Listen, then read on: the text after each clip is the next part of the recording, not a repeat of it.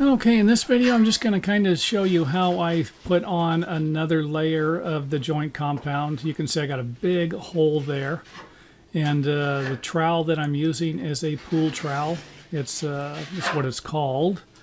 And uh, I've liked it. I've been using it for years um, for stucco and for drywall and plaster.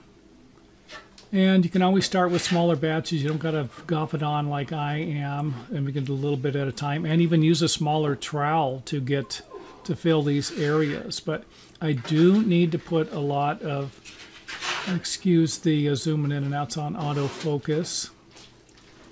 And I do need to put a lot on, and I'm actually going to use a straight edge in here to uh, give you an idea how how you can flatten it with a long flat board or even a long um, flat piece of metal.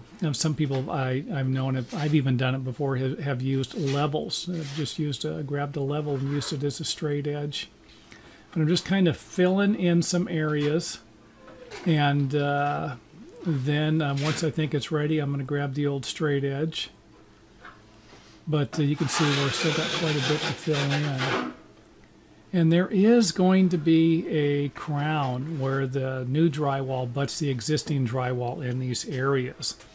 Sometimes it's going to be better just to remove the drywall than to do something like this. And of course, uh, for me, I think it's always a challenge. I'm going to go ahead and go for it and see if I can flatten this out.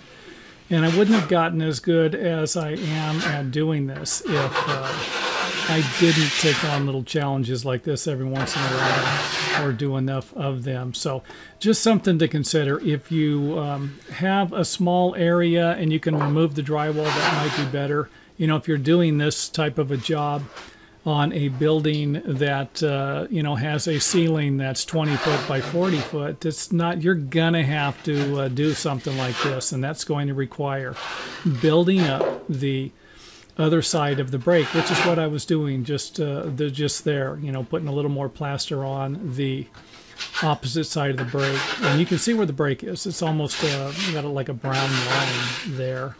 So, and then now I'm going to use a straight edge to um, try and uh, scrape off the high points, let's say, of this and you don't got to do this all in one day. It doesn't have to be done. You know, you can, you know, unless you're in a hurry, I got you there. But uh, if you are in a hurry, you're going to have to use fast setting plaster also. But I wasn't. I just kind of uh, got it uh, good one day and then came back and did it again the next day.